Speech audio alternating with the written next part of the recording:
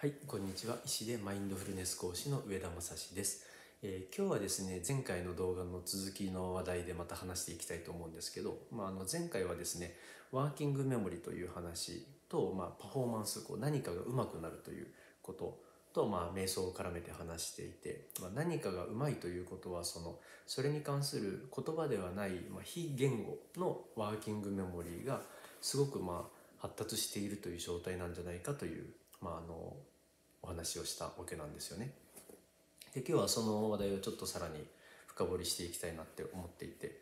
えっとまあ、あの非言語のワーキングメモリーを大きくしていくことが、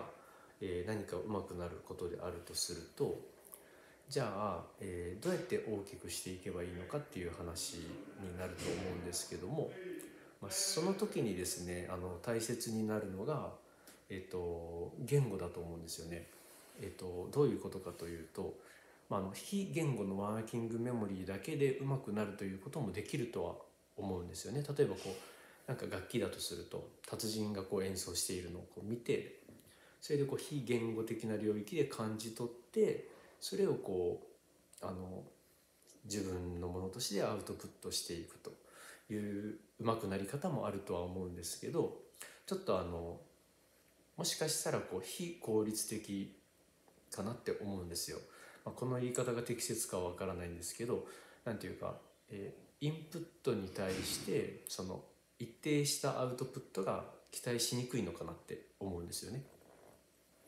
なのでそういう時にこう言語的に学ぶっていうか例えば理論的に学ぶっていうのはすごい大事なのかなって思っていて、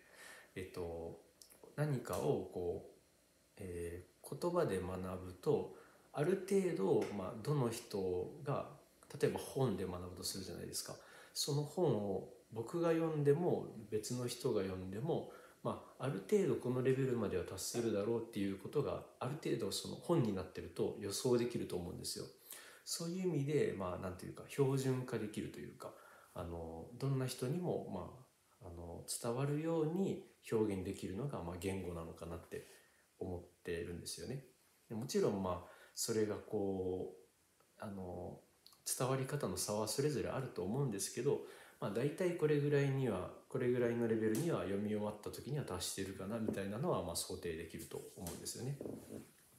というわけでこう効率的に伝えていくことができる逆に受け取っていくことができるっていう意味で、まあ、言語っていう言語的なあの方あの言語的な領域っていうのも非常に大事だなって思ってるんですよ。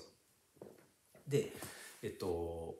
まああの言語を、まあ、例えで言うと言語ってどんなものなのかなって何かを上手くなることに関して言語ってどんなものなのかなって思った時にはしごっていうふうに例えてもいいのかなって思ったんですよ。こう何かをこう上手い人例えばドラムの達人がいたとするじゃないですか。その人が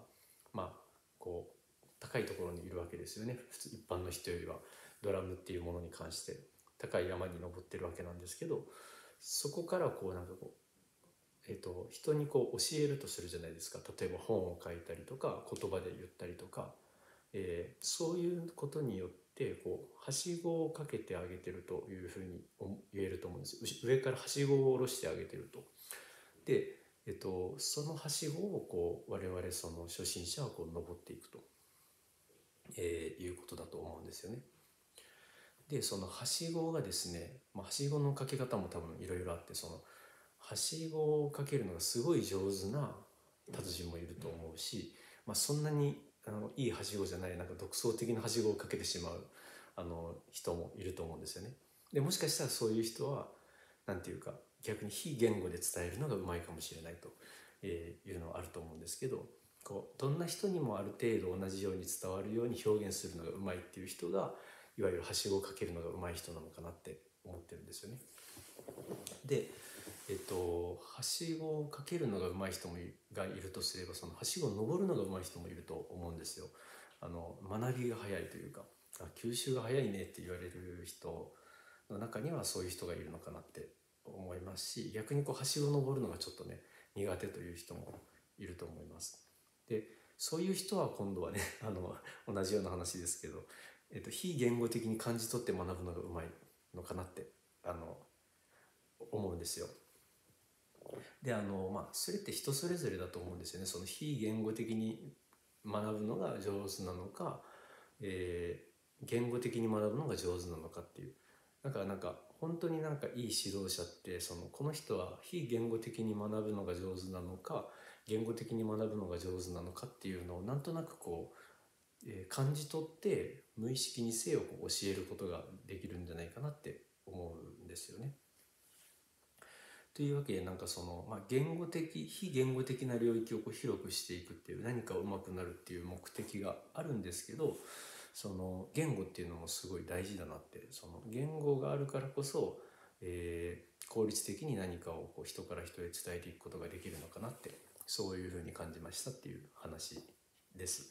でまあこれあのマインドフルネスの一応あの 講師としての動画なのでえー、まあ、あの瞑想に関してはまあ同じようなことが言えるのかなって思っていて、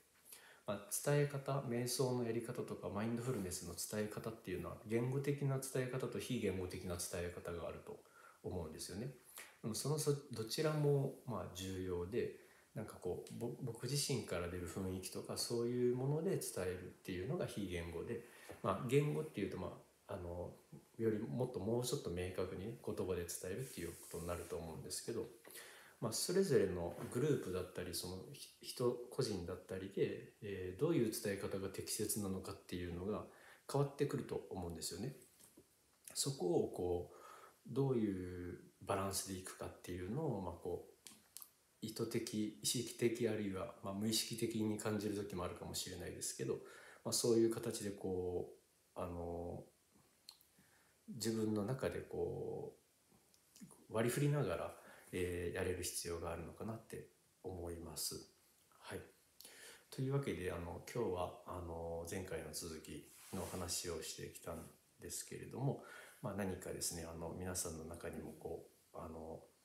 心の中でつながることがあったら嬉しいなと思います。はい、